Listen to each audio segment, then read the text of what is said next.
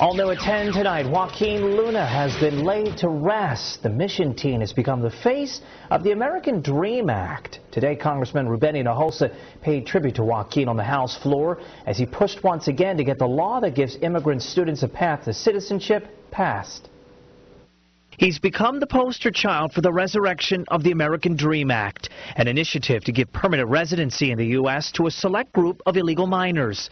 18-year-old Joaquin Luna's tale of suicide on Friday in Mission over fears he would never achieve his dream to become an engineer because of his undocumented status is echoed on the floor of the U.S. House of Representatives. Brought to the United States as an infant, Joaquin attended our nation's public schools, played the guitar at his church, and hoped to go to college and achieve the American dream. An American dream Joaquin never thought he could achieve, according to his family.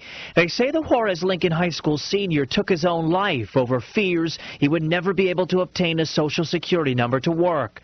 The DREAM Act would allow students who graduate from high school or earn a GED the opportunity to obtain legal status if they complete two years of college or military service and have lived in the U.S. for at least five years. Congress blocked the DREAM Act last year year.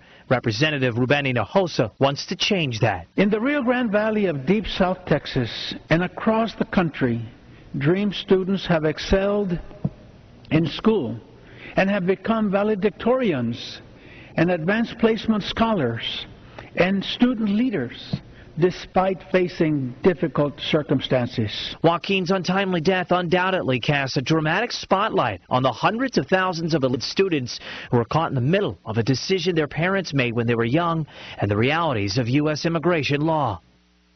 A source close to the suicide investigation claims the DREAM Act was never mentioned in any of Joaquin's notes he left to family members or even a friend. Those who don't support the DREAM Act call it nothing more than amnesty. You have been sounding off on whether or not you believe the DREAM Act is just on my Facebook page. A very lively discussion has been going on all day. You can chime